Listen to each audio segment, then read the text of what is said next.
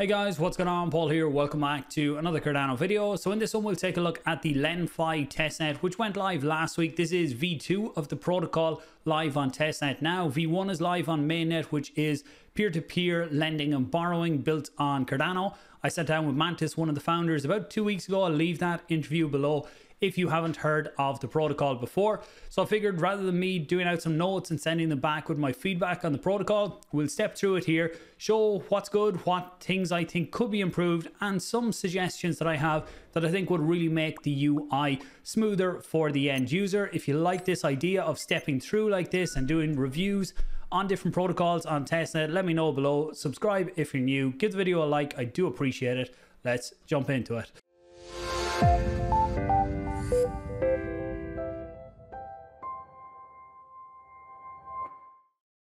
Okay, so this is the post they put out to announce that the testnet is now live. And they do say that, look, it is live and there are some known bugs and issues in it. And that's what testnets are for. Putting it out on testnet to find the different issues that are there or find potential improvements that could be there. When developers build something, they know how it should work. They test it like the way it should work. But when you put it out to the public, they're going to use things a lot different. They're going to click buttons in different orders. They're going to essentially break it and you need to figure all that out before you go to mainnet. So that's what testnets are generally for. And they've mentioned here some of the things that they're aware of already. There is also a document that shows some of the issues that are there, some of the bugs that have already been found and that they are working on. Probably a few more in Discord. So if you're getting participating in this actively, then make sure you check out Discord and this document here. So let's jump into the protocol and take a look what it looks like. So you can see here, this is the initial page, testnet. So this is just to show you what you need to do if you want to get involved and test. It is out on the pre-production testnet. So you need to set up a pre-production wallet. You can do that in any of the wallets just by changing the network. There's a faucet there to request ADA. And this button here will go and create a transaction to send you some of the testnet tokens and you just have to sign the transaction and then it's time to jump into it. So market, this is what it looks like overall. So there's a few differences to this one compared to other lending and borrowing protocols. Some people might be familiar with the likes of Aave over on Ethereum and over on other networks where on the left you will have all of the assets that you can supply to the protocol and on the right are the assets that you can borrow. And if you've seen the interview with Mantis, he talked about that with theirs, it's going to be one to one. So there will be a pool for each individual asset pair where something like Aave or even on Liqwid is very similar to how Aave works. You can provide collateral in ADA, and then there could be multiple different tokens that you or assets that you could borrow on the other side, and you don't have to put it into the individual pools. But we'll walk through that in a minute. So over on Aave, what you have when you come into this is you have all the different pools. So very similar to what you have on a DEX where you have all the individual pools. This one is ADA ADA you wouldn't really use this one in reality, but it's only on testnet, so it's looking to see how it works. A to Z, A to min. Over here, the available supply, so what's there that you could actually borrow. This is the supply APR, so if you provided the supply token, which is ADA in this case, you would earn this APR. And then the borrow rate, so this is what it costs you to actually borrow out whatever the other token is in that pair and these will be dynamic. This is based on supply and demand. So the more that's there in supply then the cheaper it's going to be to borrow it out. The less supply then it's going to be more expensive for you in terms of interest to borrow it out. And you can see lots of different pairs here. So what you will notice is the list is starting to get fairly long there and there is only about four or five assets added to this so far. You do have your different filters, so you can come in, go high to low, the available supply, collateral token, supply APR, borrow APR. And then over here, you can see that most liquid pool per pair, you've pools that you've deposited personally into and pools that you have a loan with. So with this, so someone has already created the pool for A to Z, but I could also come in and create the pool for A to Z. I could just come in and create a new pool and create it for that asset pair too and it's going to be down to the UI to show what is the most liquid pool and which one is suggested to the users to get involved in it. So it's going to be interesting to see how that dynamic works.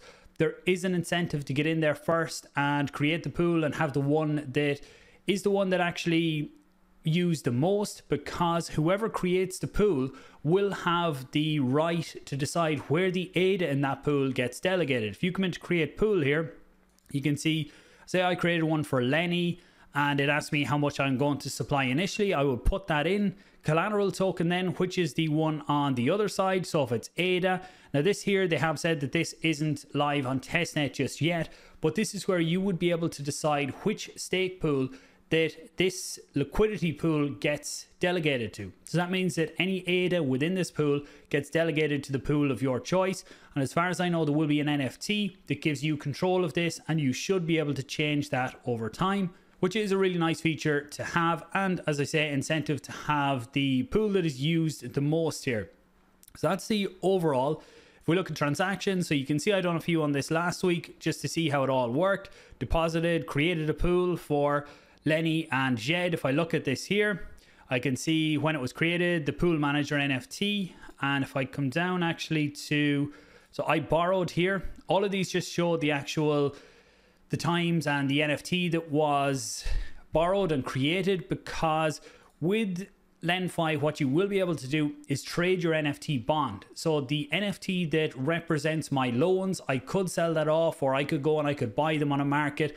And in the future, there might be a fairly active marketplace for that as we get other services built on top of this and there's more incentives to do that. But if I come into loans then, I can see the ones that I have loans on. So I can see that I have a debt here of 12 ADA. So I took out a loan for 12 ADA. I already owe 0.01 ADA in interest. This is when it started. And the collateral that I put up for this one was 600 min. So I can see the health factor is still really good. Once it's over 1 or maybe 1.1. So once you're over 100%, you're okay on that side. There's the APRs. And the same for LenFi whatever interest is due, and I can repay that at any time. Okay, just adding this bit in after because I forgot to put it in at this point in the video was that so this one here shows the loans, so everything you borrowed from the platform and you get all of your details here. But I would like to see one or two more tabs added into this point as well. So maybe one for pools that I've actually created. So I could come in and I could look at the pools. So a little tab here and then I could see whatever pools that I've created and the details on them. And the other one then is for when I've supplied assets to some of the pools that I can come in here and look at my supply. So I click in that and then I get something similar to this where I get what collateral I've provided, the interest that I've earned, maybe the start date, the APRs, and then the option to actually withdraw it or whatever options that I have at that point. I know I could come over here to pools and I could go into this one and look at pools with my deposit but if you can make it one click up here when there is all of this space, I think it would be a nice to have.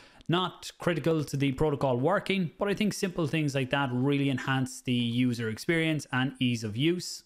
So one thing now when I come over here, so one feature that I think could be really good here is like if you go over to a DEX, so let's look at liquidity pools on a DEX. When I come in here, I look at the pools, I can see all the different information. I can see the TVL and the LP and everything like that. And I have all the different pools here.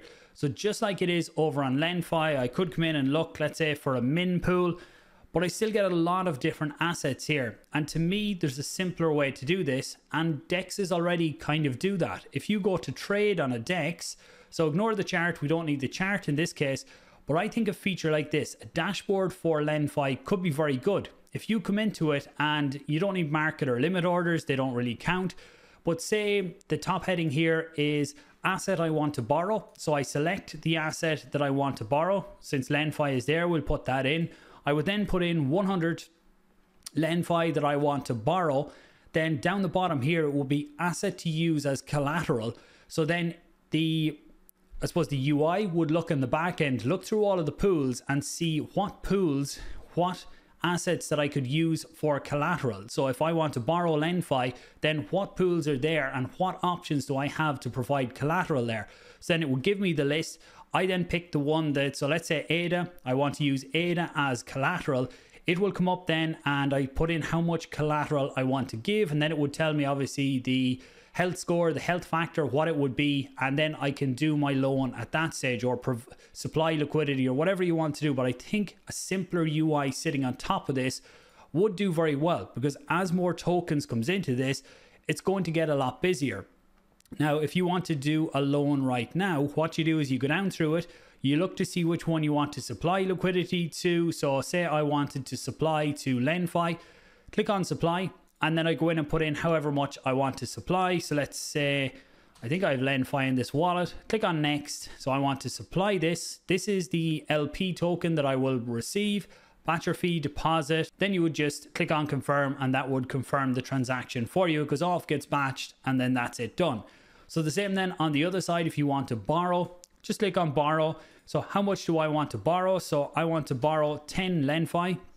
Then I have to put in how much um, collateral I want to put in. One thing I would like to see here is, see the way it says here, the max. So that's taking the max that I could borrow, but I would like it to read my wallet and show me how much is actually in my wallet. So have, like it's got max there, have max here to show me how much is sitting in my wallet because initially I was getting an error that it was coming up with something about the UTXOs. Wasn't the UTXOs already spent? I can't remember. I was getting an, an error telling me that I couldn't do it. And when I went looking in the wallet, I didn't actually have enough of test tokens in the wallet. Because they're test tokens, I hadn't been paying attention to the amount that's in there. Normally, you would have a fair idea of what's in your wallet. But I think this could help is just having here that say I have 1000 tokens in my wallet that then I could put in here, say I went to put in 1,000 or 11,000, that it would tell me here that you don't have that many tokens in your wallet rather than going to the next step. So it was letting me go to the next step and then it was giving me a random error rather than if you can catch it at this point, it makes it a lot easier. So you can see the pricing isn't right just yet, but that's one of the things they have said isn't just live on the testnet yet. Something like that, I think. Um, could do very well. So you see if I put in 1500 ADA for this one, then my health factor is 1.15. It would still be a little bit low. If I was actually doing this loan on the mainnet, I'd be very cautious at doing something like that. You can see there it says the Oracle price is not updated. That's no problem. That's just one of the features that hasn't been turned on on the testnet yet. So at this point, it will be next. It tells you what you're doing. So you're borrowing one LenFi. This is the collateral you're putting up batcher and deposit and then you would just confirm once you do you would then see it appearing here like I have these low ones already done Hope this has given you a quick insight into what the LenFi testnet looks like. A lot of good work has gone in here. A few things that I've went through there that I think could help improve the overall UI. But looking forward to seeing where this one progresses and getting to the stage of pooled lending for LenFi being ready to go live on the mainnet. If you got value, please do share this out. Let me know your thoughts below on this type of a structure on a video going forward of me going through test nets like this, giving feedback, kind of doing a bit of both, walking through how it works, but also giving feedback as I go. Talk to you soon, guys, and uh, don't forget to like.